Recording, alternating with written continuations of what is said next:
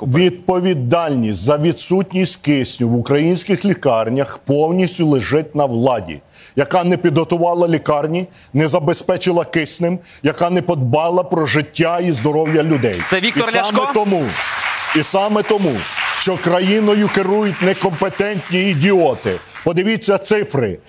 Ми перше місце в Європі по смертності від корони, третє місце в світі по смертності від корони. В усьому світі людей хворіє більше, але помирає менше. Уявляєте, міністр у нас теж Ляшко. А в Україні навпаки е, хворіє менше, а помирає більше. Тому що влада винна в тому, що в людей немає кисню, люди не отримують допомогу і вони помирають. Якими треба бути аморальними мародерами, щоб наживатися на житті і здоров'ї людей? Ви тільки на секунду. Ви просто зупиніться, да? От давайте забудемо про політику, про все. От уявіть на секунду оту швидку, у якій лежить 70-літня жінка чи е, 20-літній хлопець, яку перевозять цю нещасну людину, яка без ковтка кисня помре, яку везуть з однієї лікарні в іншу, возять по всій Одесі, щоб знайти їй ковток кисню, щоб врятувати її життя. Ви уявіть цю ситуацію. Які це страждання для, для тієї людини, які це страждання для медиків, коли вони бачать, це фактично е, е, неприпустимі, не- недопустимі, взагалі неможливі речі. Як може людина помирати через те, що їй не дають кисню? Ви уявіть цю страшну смерть через відсутність кисню.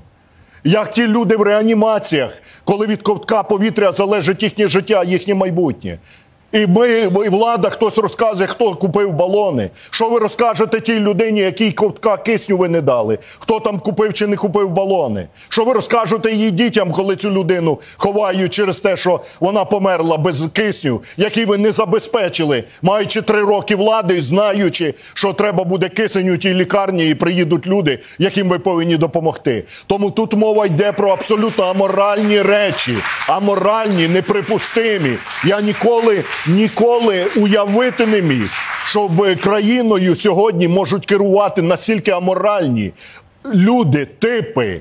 Мародери, які наживаються на всьому, вони кожну секунду 24 години на добу крадуть наші Олег гроші. ми зараз- Замість того, щоб 24 години на добу думати про те, як порятувати У людей. нас у вас за спиною ми крутимо відео. Наша редакція недавно зафіксувала черги до київського крематорію. Е, дійсно, е, не те, що лікарі не справляються, а лікарні не справляються з тим напли- напливом хворих, які зараз є. Але однак, Вале- Олег Валерійович, влада каже нам про те, що вони людей просили приходити вакцинуватися ще е, весною, літом, тоді, коли ну якось не дуже е, люди хотіли, да не було черг.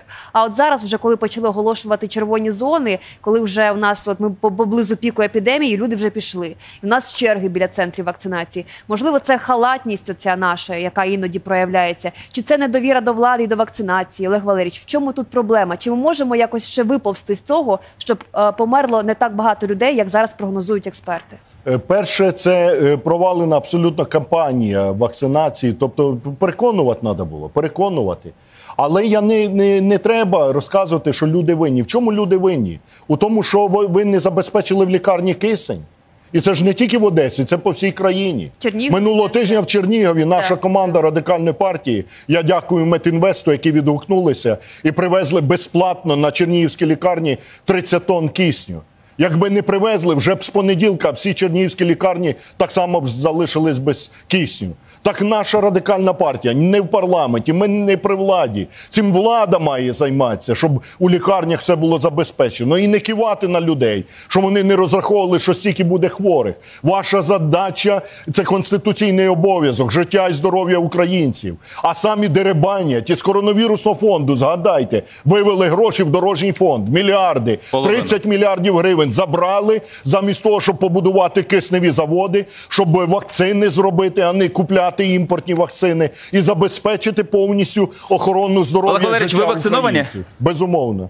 Давно? У березні місяці я отримав першу вакцину, у червні місяці другу, коловся ковішилдом народним. Ну, тим, чим привезли, тим там, в принципі, чим кололися. привезли, тим і коловся. Не хворіли ще? Е, Ні, надію, що не буду, дай Бог. Ні, ну після вакцини не так страшно там хворіти. Я вже і хворів, і вакцинувався. Але Ви, ну, це ви агітуєте, щоб хворіти? Ні, нікому Ні, не це, дай. це Бог. до того, щоб українці не боялися, що вакциновані теж хворіють. Просто набагато легше, аніж якби вони не отримали цю вакцину раніше. Бо в нас же чомусь вважають, що вакцина це панацея. Ну насправді ж ні. Вона просто захищає від смерті від ковіду і від е, шевелів і ось цієї реанімації. Я дуже сподіваюся, що вакцина захищає, я в це вірю, але я скажу, що не дай Бог нікому хворіти. Нікому хворіти, Так. тому що дослідження показують складні наслідки від хвороб, і тому найкраще це берегти себе, дотримуватися правил, які розказують лікарі, дистанція, маски, руки мити, вакцинуватися і не експериментувати. Тому що е, хвороба дає і на нервову систему, і на сосуди, і на кров, і на розумову діяльність, на все. В нас Тому чомусь себе. великий антивакцинальні настрої, широкі. Чи варто в нас змушувати людей вакцинуватися, тих, хто не розуміє, що це потрібно? Я думаю, що кожен, хто не хоче вакцинуватися, просто хай подивляться, що робиться в реанімації. 98% людей, які помирають сьогодні в Україні, майже тисяча щодня, вони не вакциновані. Тому відповідь одна: вакцинуватися. Але- і не жити предрассудками і Але у е, забобонами. така